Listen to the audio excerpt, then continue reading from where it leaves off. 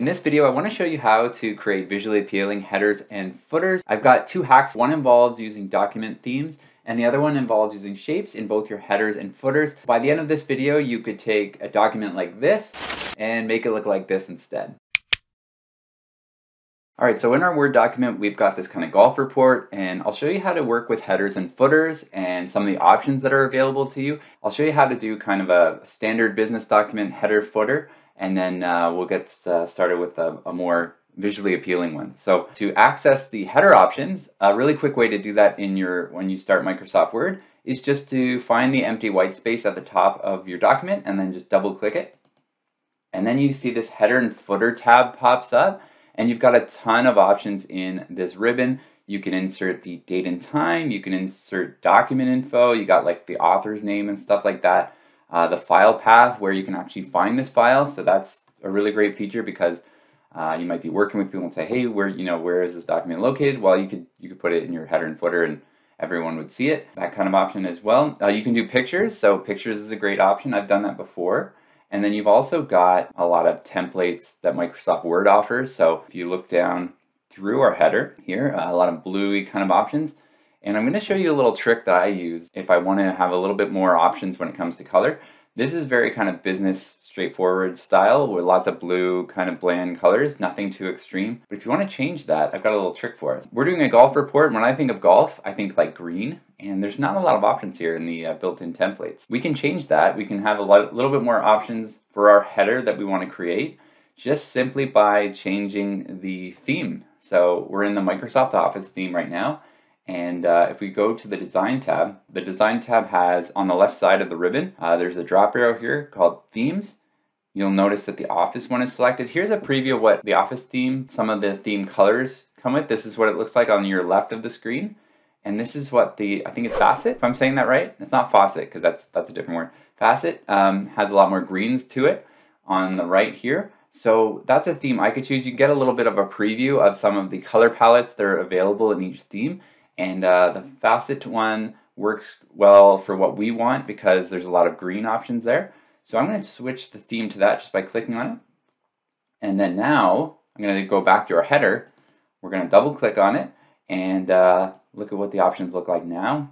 Okay, so we've got kind of a nice green uh, options here. You could do like a banded header. You could do kind of one that comes with a, a page number and you've got like green text. So it just kind of like fits the uh, fits the purposes of our document very well. I kind of, I like this one, the retrospect uh, style, but I kind of want one where, yeah, something like in the, in the top right corner, right there. So I'm going to choose that kind of uh, header template. So templates are great if you want to save time. I'll get a little bit more creative um, in our footer, but this is how you could use a template in both your header or footer. So double click. Um, I don't need the page number. Now, the great thing about headers and footers, uh, if you had the page number, it would just kind of repeat the page numbers on each page as you scroll down the document. So real time saver there. It can do page numbers. Um, you can insert the date or maybe, you know, in, in professional business documents, you would have the page number and then your last name or the, the author's last name on the right side. But we're, we're trying to be a little bit more flashy with this one, make a more visually appealing one. So we can manipulate this a little bit, but I don't need the page numbers. Um, it is a great option, but and then we can pull the shape kind of right to the corner there. That looks a lot nicer. And then maybe make this bigger. Yeah, make it a little bit more eye-catching that way. There. And then I'll just double click to get back to my document. So there's our header. Again, if you want to put in other options like you can put the date and the time, that kind of thing. Put in some pictures if you feel like it, online pictures you can grab that are copyright free by the way um, in these Microsoft programs. Just some options there.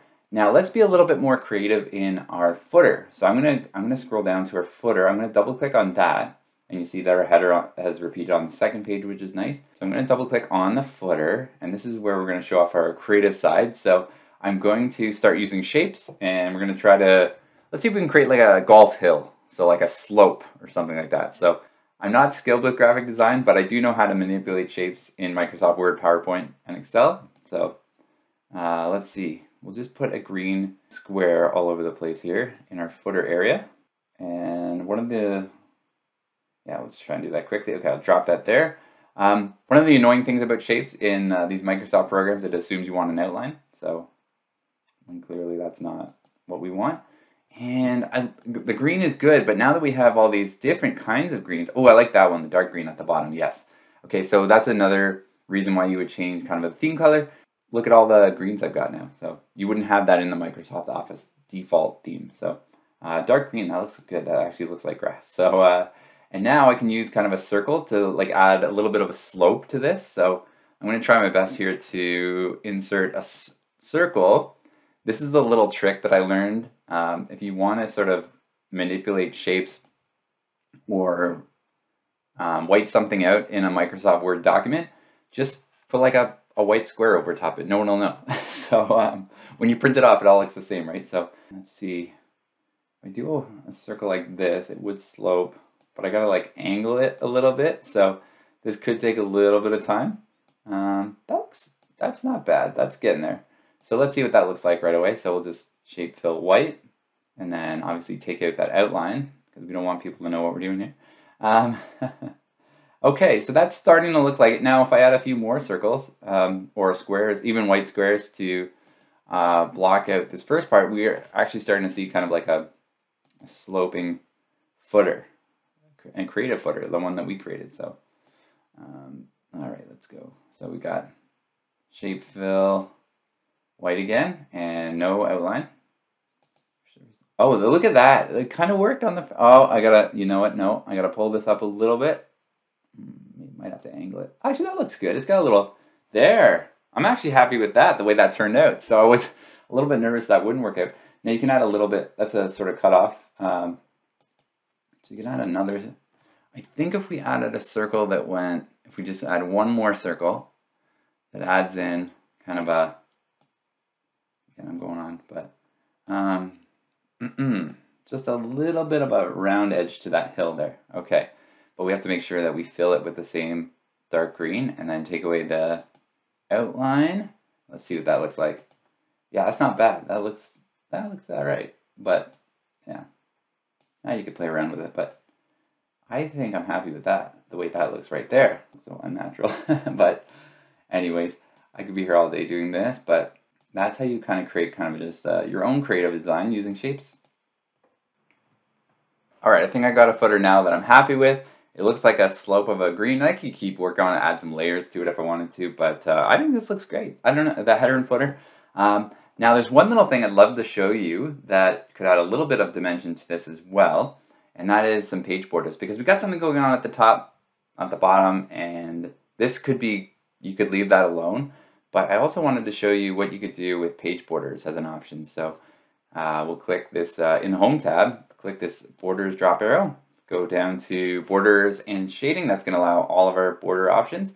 Go to Page Border, so, and then we'll add a box. And then you've got all these styles that are here in this uh, menu. I'm going to do like a double arrow. And then we'll stick with, see, we've got a nice green. I'm going to use the same dark green and make it, yeah, I don't want to make it too wide. You could use art, but that's sort of cheesy. Um, and then I don't want it going along the bottom, so I can take off the bottom option, maybe around the top. Yeah, maybe the top and the sides would be nice, but the bottom is sort of like overdone with that slope there, so I'm going to press OK and see what that looks like. Now we've got kind of a nice um, page border there. So yeah, just to just add a little bit of visual element around the sides of our uh, document at the top, and uh, just by adding a page border. Now it's simple to create a header and footer that repeat on multiple pages, but it's difficult to create a separate header and footer that starts on a different page. I've got a whole video on how you can do that potentially just by creating section, different sections in your document. That's on your screen right now. So if you want to check that out, you want to see how to do that, that's in that video. I'll see you over there. Thanks for watching.